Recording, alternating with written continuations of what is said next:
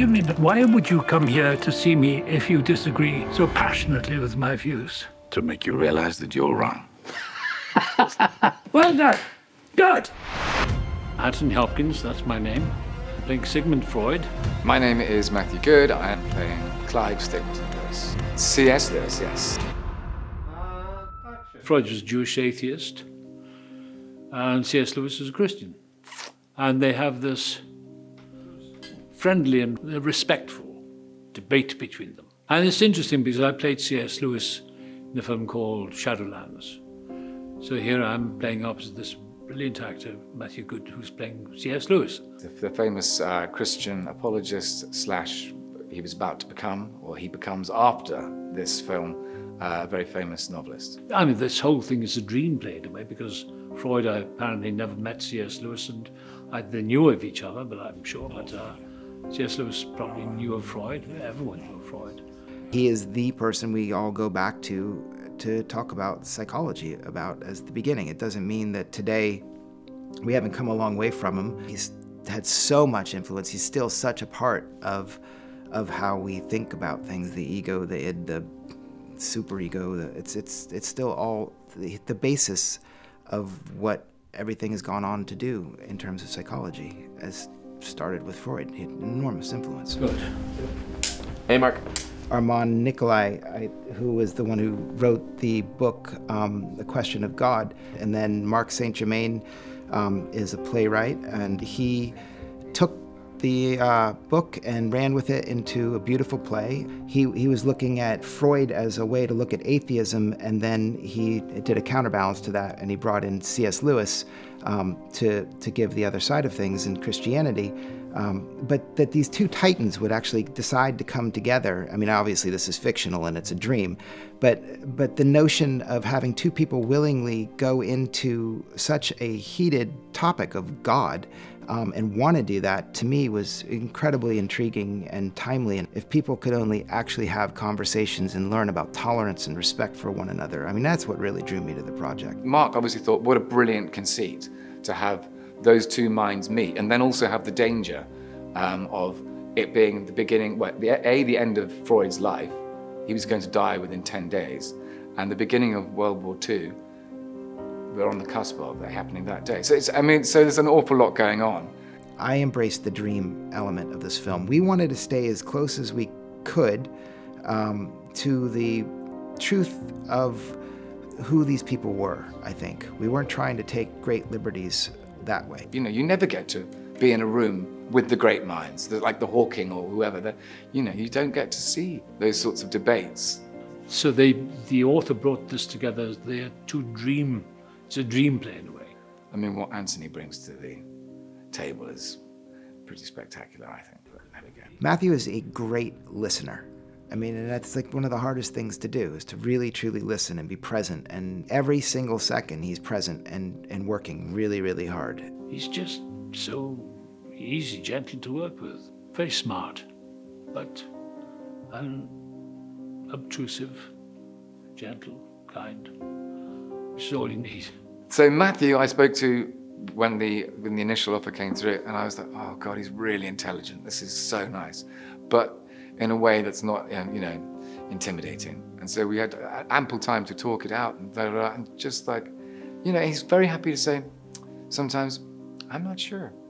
I don't know, let's see, let's see. And that's great, because like there's, there are gray areas. Not everything is black and white. There's the Freud that was on the page, and then there was the Freud that Anthony Hopkins brought to the table. I love to work, and I love a challenge. So I read as much as I could on Freud himself before I started on this. I'm not well versed in psychoanalysis, but I'm fascinated by it.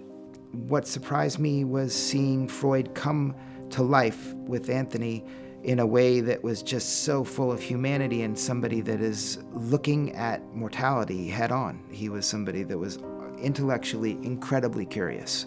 I'm fascinated by that side of existence. What are we?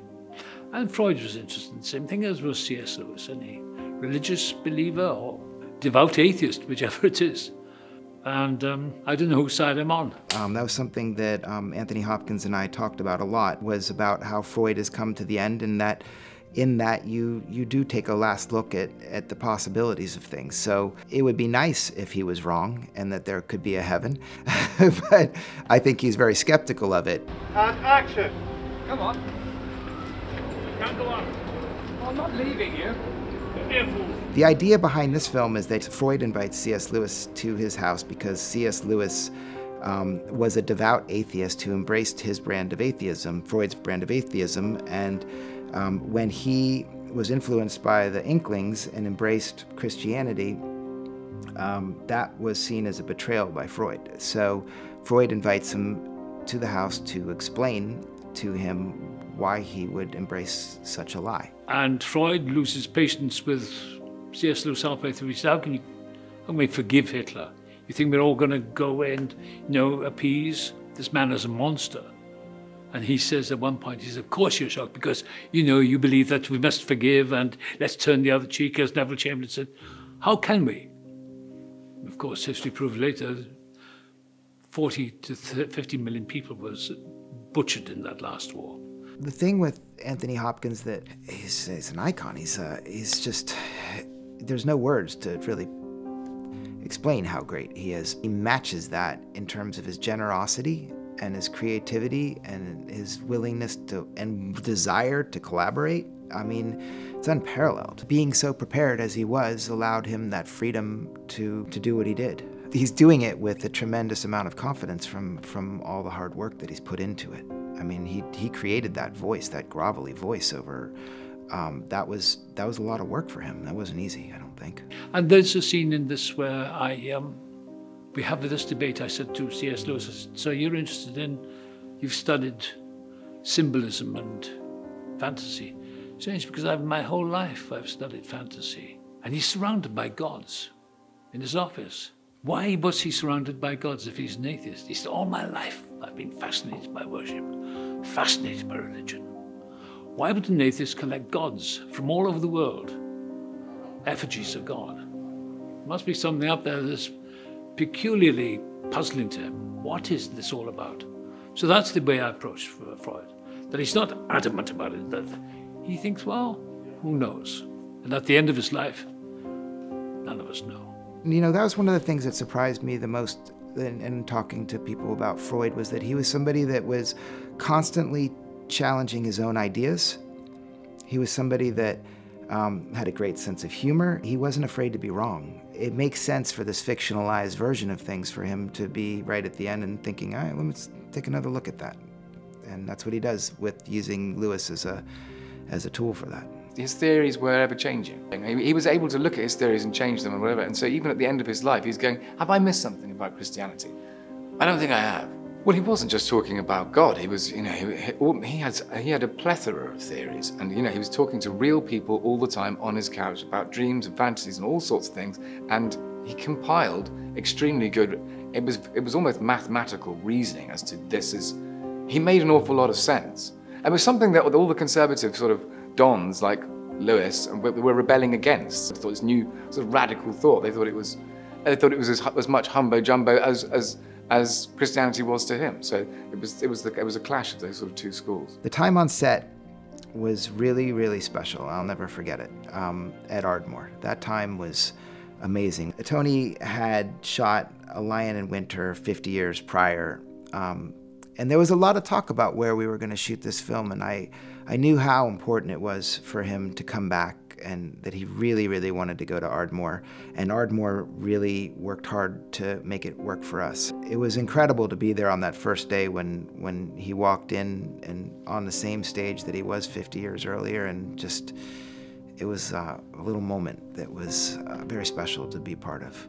It's been a total delight. I don't think many actors get the opportunity to to a work on something that's that's like this like this interesting but also i get to i get to certainly as i have done for the last two weeks solid just be in a room with with the great man with with anthony. We had the most amazing crew. My heads of department were outstanding. I had Luciana Arrighi who i'd worked with before who was our production designer and she she helped not only recreate this over in Ireland at Ardmore Studio, but also um, she helped uh, build the canvas that we break out of these rooms too, as well. It's like a character unto itself. We're sitting here in uh, Freud's house in London, in Hampstead, um, and This is the actual. this is the actual house. Um, and at one point, we even thought maybe we get to shoot in here, but that didn't happen. So Luciana, she she came in a few a number of visits here and had incredible help from the museum as well um, in helping us recreate this. I'm looking at it; it's, it's unbelievable the recreation that was done. Ben Smithard shot the film. Um, absolutely genius. I don't know how we did it in the days we did it in.